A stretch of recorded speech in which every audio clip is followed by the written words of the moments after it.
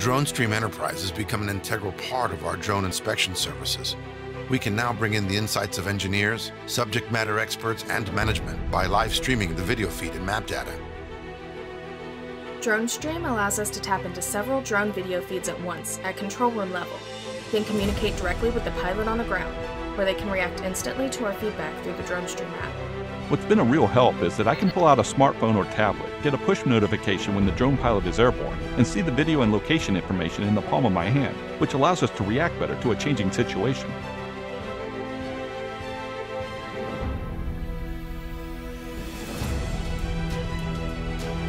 Our project team have been using drones for some time now. DroneStream has added a whole new layer of extra benefits to our drone program. We can now have engineers positioned anywhere on site collaborating with the pilot instead of all peering over their shoulder.